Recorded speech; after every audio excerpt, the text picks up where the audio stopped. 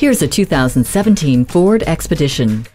It has the power and room you need to ensure every adventure is fun and comfortable. With a turbocharged 3.5 liter EcoBoost V6 under the hood, Ford has found the perfect balance between heavy pulling power and fuel economy. Even with all three rows filled, there's still plenty of room for stacks of cargo. The trip is even more enjoyable with the reassurance from AdvanceTrac with roll stability control, SOS post crash alert system, and safety canopy system. Every weekend adventure is now possible in this Ford Expedition. Take it for a test drive today.